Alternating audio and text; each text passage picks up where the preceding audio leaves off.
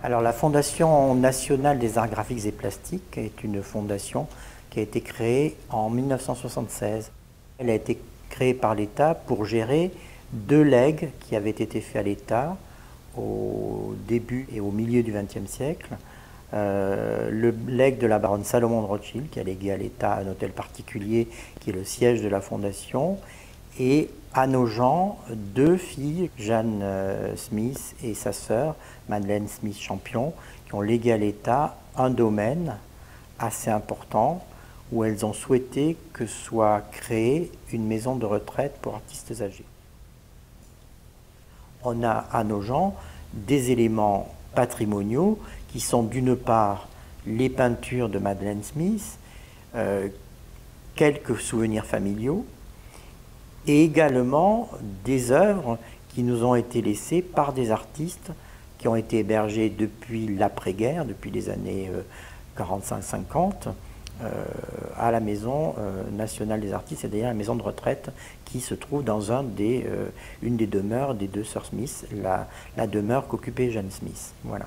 C'est à ce moment-là que les sœurs Smith ont émis le vœu d'ouvrir cette maison de retraite parce qu'elle connaissait et fréquentait le milieu des artistes et souvent d'artistes désargentés ou d'artistes qu'elles avaient côtoyés dans leur euh, jeunesse ou pendant leur vie. Donc il est probable que Sophie Larosière ait été aussi euh, partie du testament des sœurs Smith pour, disons, devenir l'une des premières résidentes de cette maison.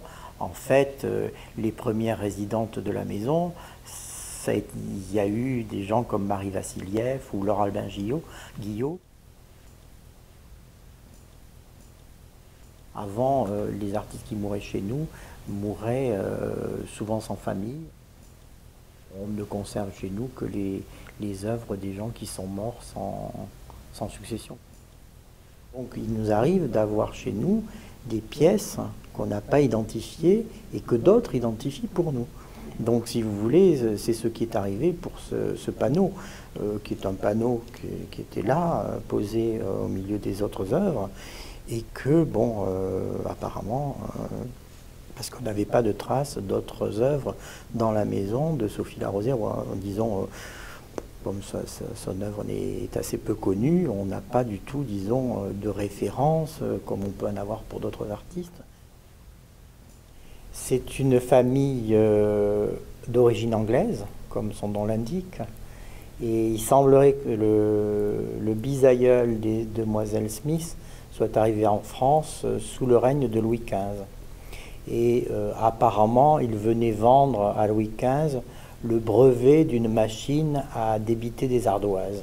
Il est resté en France, le citoyen Smith, et en fait, il a fait, plutôt son fils, a fait euh, fortune au moment de l'Empire de Napoléon. Donc il a gagné sa vie pour faire vivre trois générations euh, sans travailler derrière.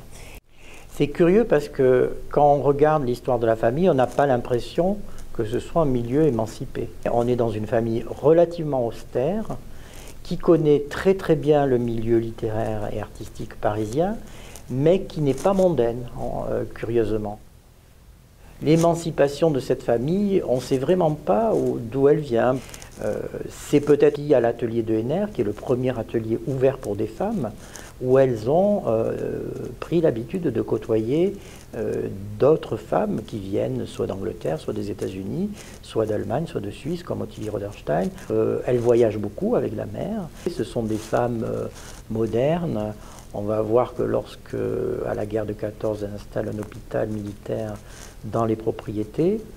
Euh, de suite, elle s'intéresse euh, à trois questions, installer le téléphone, euh, avoir une machine à écrire et acheter une voiture. il est évident que Madeleine Smith n'est pas une peintre, disons, révolutionnaire. Hein. Elle est plutôt tournée vers le 19e que vers le 20e. C'est vraiment une élève de Henner et quand on voit les œuvres des élèves de Henner, on tourne vraiment vers quelque chose qui est euh, une image du passé, avec euh, des femmes euh, souvent pré-raphaélites, je dirais même.